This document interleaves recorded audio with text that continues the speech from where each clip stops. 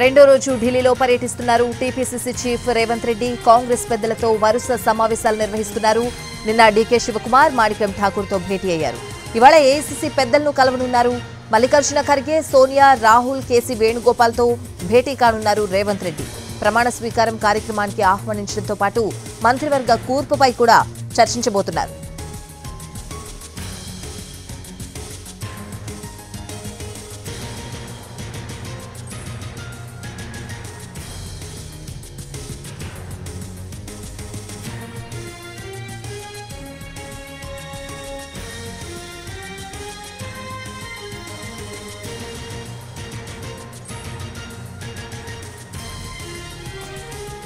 రెండో రోజు కూడా ఢిల్లీలో పర్యటిస్తున్నారు టీపీసీసీ చీఫ్ రేవంత్ రెడ్డి.